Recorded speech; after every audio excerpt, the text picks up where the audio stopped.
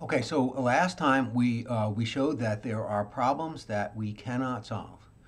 That we have Church's thesis, and Church's thesis tells us that um, we think that, that, that we have described a sort of final model of what a mechanism can do.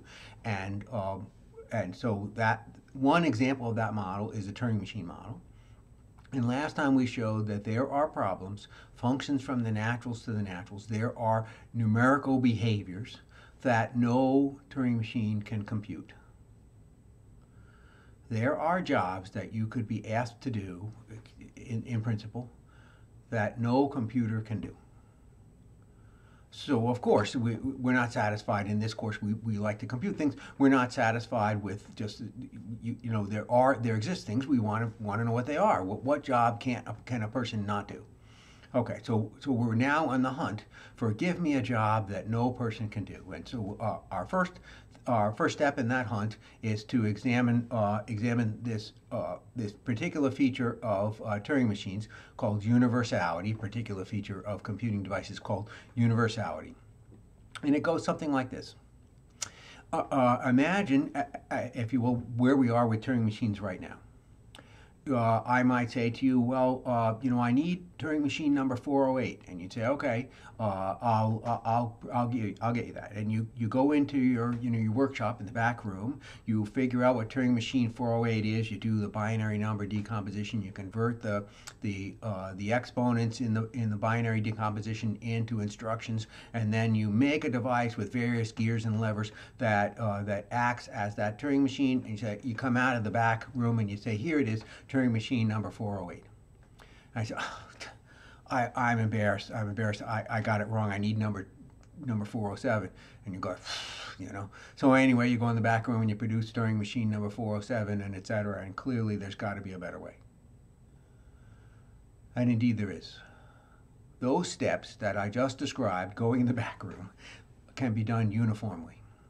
That is to say, there is a program that can do them a program can, given the 408 or the 407 or whatever is the input number, a program can decompose it into its binary components, figure out what are the exponents in the binary expansion.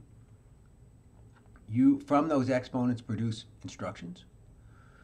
And now you've got the associated Turing machine. So there is a program that can, given the index, produce the associated Turing machine. We, we call that an acceptable numbering earlier. Anyway, there is a program that does that. And why can't you just run that Turing machine on a Turing machine simulator? I mean, obviously, you can write a program that simulates a Turing machine where you give it the instructions and and it. Why can't you? Why can't you make a new program that simply takes the 408, figures out which Turing machine it is, and then runs it on a simulator? Why can't you do that? So that you don't have to produce a new machine every time. You just produce the 408, that's all. Ah, well, you can do that. Turing was the first one who showed in great detail how you do that. There is a Turing machine that, there is a single program that, when given the input E and X, will have the same output behavior as does Turing machine E on input X. That's called the universal Turing machine. So there's a single Turing machine that we can tell act like this other machine with this with this, this, particular input, and it'll do that. We don't need infinitely many machines. We don't need a back room. We just need this one. That's called the universal Turing machine. I, I write UP for the universal Turing machine, but it's just it's just a symbol. There's no particular uh, no particular symbol. You can use whatever you like. So a uh, universal Turing machine is kind of like a, a, an interpreter. So if you, for example, pop up the Python interpreter and you get a prompt and it's waiting for you to enter instructions. You didn't have to compile it, get a binary, and then when you when you run want to run different instructions, you you compile that and get a different binary. No, no, no. This one binary will run whatever you want. A universal Turing machine is also like an operating system in that if you want to run a program on your operating system, you just say, you know, run program. You don't have you double click. You, you don't have to uh, you don't have to pull out a physical part of the Turing machine and replace it with a new physical part of the Turing machine. No, no, no. This is not a change in hardware. This is you just tell it, I want to run program 408, and it figures out what is program 408, and then it runs it. That's what a universal Turing machine does. It is a single device that will act like any other device you want it to act like. Pretty cool. This, this converts from doing jobs in hardware to doing them in software.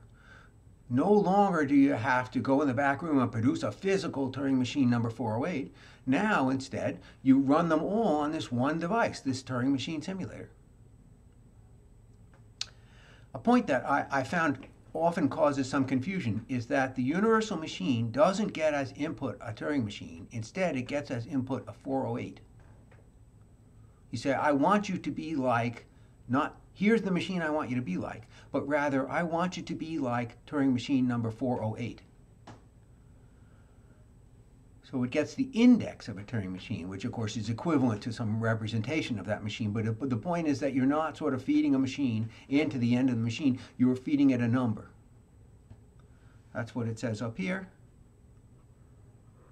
You give it the number, the number of the Turing machine and also the number of the input. And then it will it will have the output behavior will be the same as the machine you specified given that input. So a, a, universal machine does not get as input a Turing machine. Instead, it gets the index of the Turing machine. And yes, the universal Turing machine is a perfectly good Turing machine, so it has a perfectly good index, and you could feed the universal Turing machine its own index. Suppose, for example, you had a Python interpreter. There you are, you're looking at the prompt. Could you feed it the source code of Python? I know the source code of Python is C, but let's imagine. Could you feed it its own source code? Yeah, you could. You could. You could interesting ideas. Uh, the second topic that I want to talk about today relies on universality. So it's an immediate application for us of universality. And again, is, is something that we need right now because we want to talk about what, what is a program that you cannot, excuse me, what is a problem that you cannot solve. We found out there are problems you can't solve, but we want a specific one. Don't just tell me they're out there. Give me a specific one. Okay, so in order to give you a specific one, I need two things. I, I need universality and I need this next idea. So here we go, partial evaluation. Suppose I start with a two input function and I wrote it in Python just, just, just because it's awfully straightforward to write it in Python, so I did.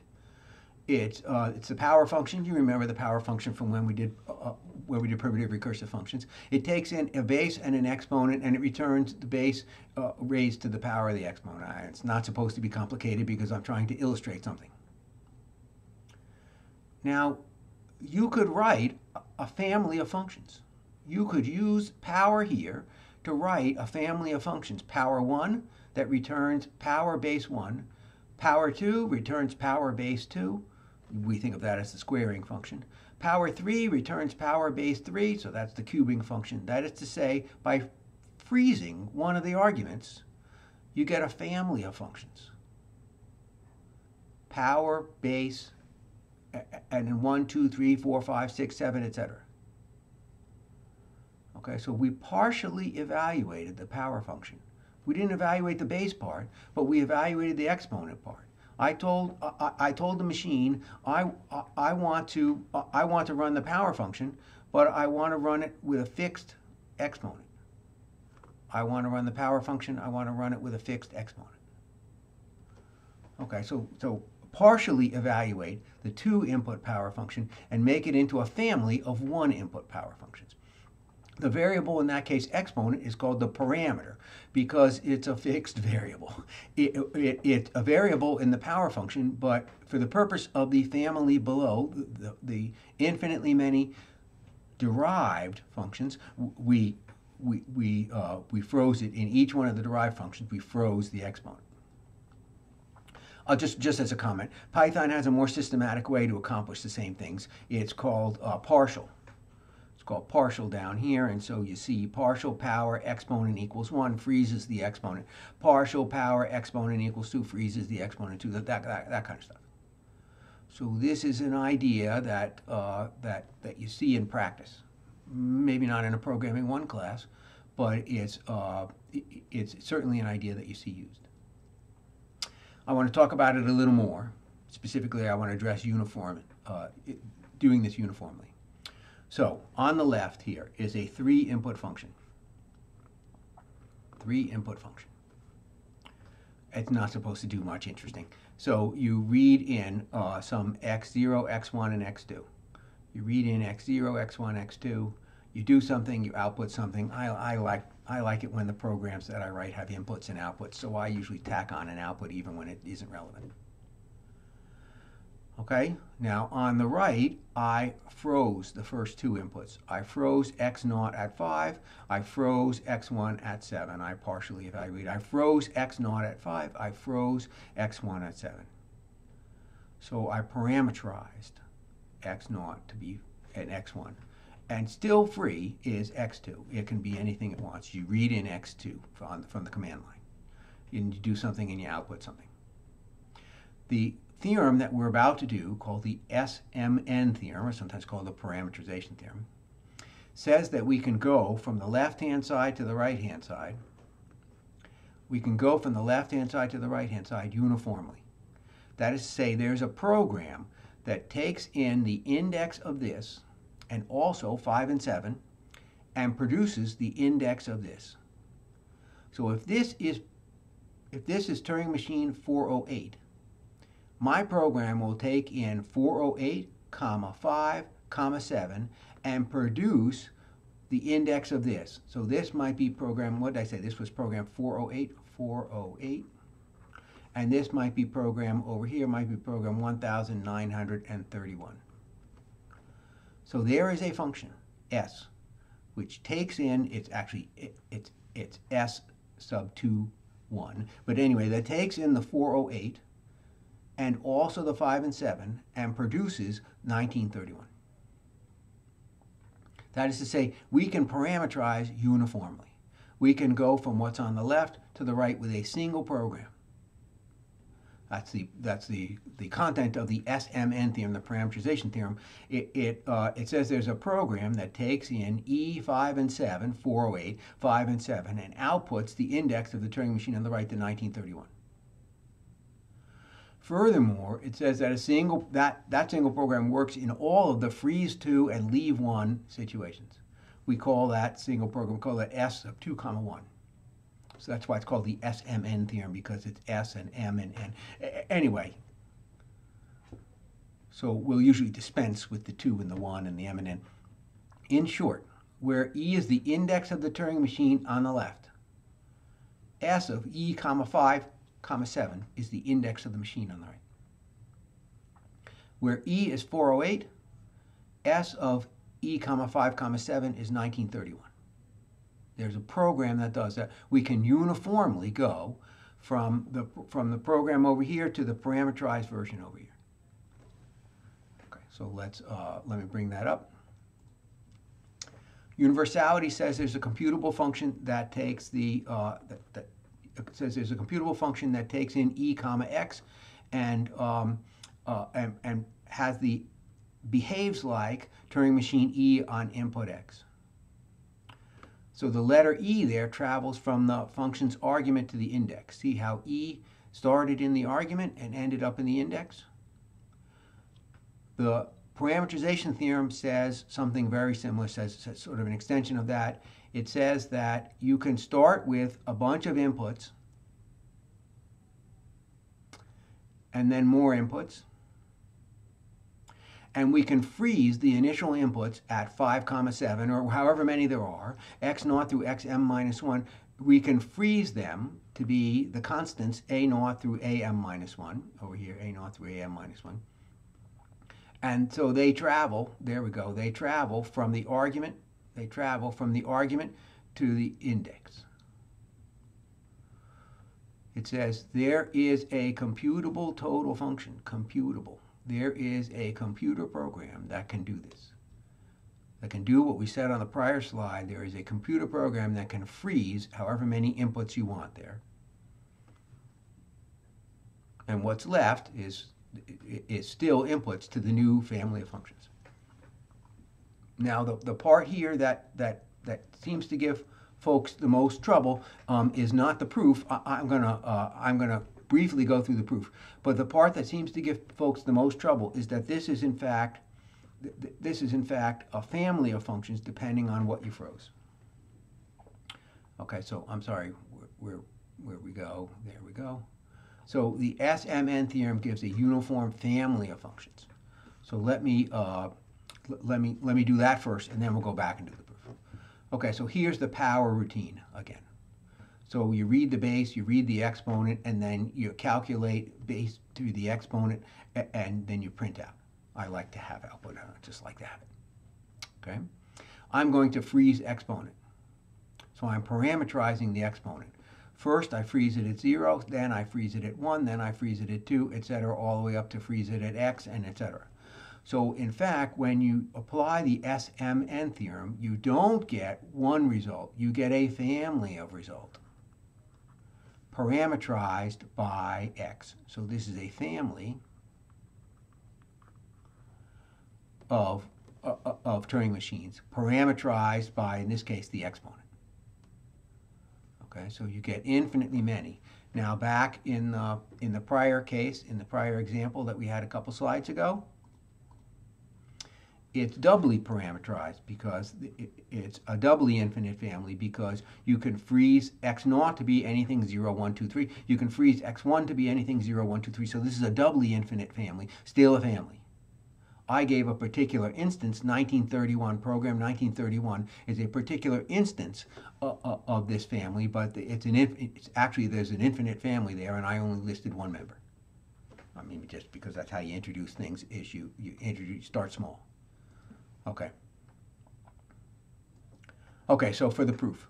So we're going to produce the function s to satisfy the three requirements. It's got to be effective. It's got to be doable on a Turing machine. It has to be a computer program. It has to input the input the index s and an m tuple a naught through a m minus 1, and it also has to output the index of a Turing machine p hat. So what I called a minute ago 1931, we're calling here p hat that when given the input uh, xm through xm plus n minus 1 will return the value of, uh, of uh, phi e with the, with the first variables frozen at a naught through am minus 1 and the remaining variables, whatever it was you fed into program p hat, Turing machine, p hat.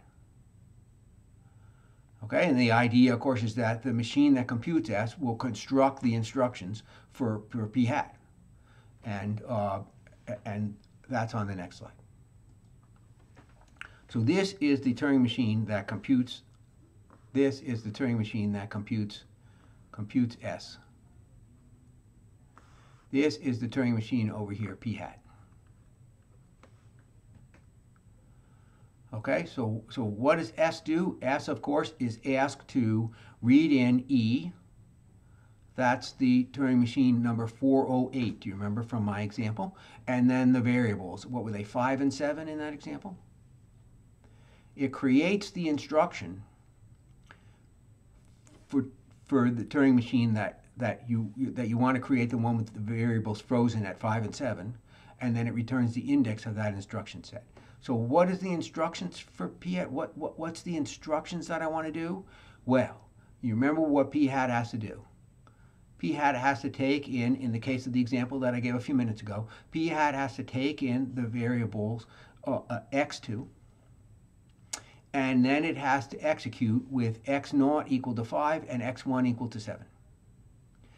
It has to execute Turing machine 408 with x naught equal to 5 and x1 equal to 7.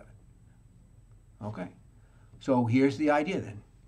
I'm going to, uh, my Turing machine is going to start, when this whole thing starts, it's going to uh, just look like, um, uh, uh it, it's going to look like just a Turing machine with uh, uh, X2 sitting on the input tape. when I press the button, what's it going to do? Well, when I press the button, what it's going to do is it's going to back up to the left. So it ignores the instructions for a minute and it backs up to the left and it puts there a 5 and a 7 separated by blanks and then another blank and then whatever you put in for x2. Backs all the way back to the beginning again and acts like Turing machine number 408 and go. Now, how do I know you can act like Turing machine number 408? Well, that's universality. So what this fella is doing is it's putting the parameters here onto the tape, backs all the way up to the beginning, and then runs program P sub E on that tape. So of course it acts like program PE, so the output will be just what PE would have done. Okay. So, uh, so the idea there is that you, in some sense, simulate PE with, with the inputs given by the parameters, A0 through AM minus 1, the 5 and the 7, with machine P sub 408 that I, I uh, illustrated earlier. Okay, so, uh, so, uh, so just, just to step back just for, for 30 seconds before we finish. So, we showed that there are problems that no Turing machine can solve. Our job next is to produce a specific problem that no Turing machine can solve. In order to produce that, uh, I need two separate things. The first is I need universality, and the second is I need the SMN theorem. Truth be told, really, the SMN theorem is the thing I need, but I needed universality in order to get the SMN theorem. A anyway, universality and the SMN theorem are both important in their own right. But I, uh, uh, my immediate goal is to have those two things so that I can show the a specific problem, an actual computer job that you would want to solve, but you can't solve it. Okay, and of course we're going to do that next time. So next time we're going to produce a specific problem, not just show there is one, but instead produce a specific problem that no computer can solve. That, to be more precise, we're going to, we're going to produce a function for which there is no Turing machine to compute it. Okay, see you then.